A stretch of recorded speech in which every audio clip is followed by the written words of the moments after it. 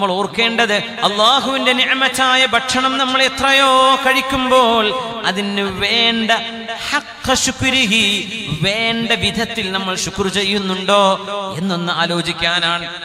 ഭഷായഹന്മാര് പറയും മുമ്പ് ഒരു നേരത്തെ ഭക്ഷണത്തിന് തുടക്കത്തിൽ ഒരു വിസ്മിമതിയെങ്കിൽ ഇന്ന് നമ്മൾ കഴിക്കുന്ന ഭക്ഷണത്തിന്റെ നിയമത്തിന് ഓരോ ഉരുളക്കും നമ്മൾ വിസ്മി ചൊല്ലണം അത്രേ.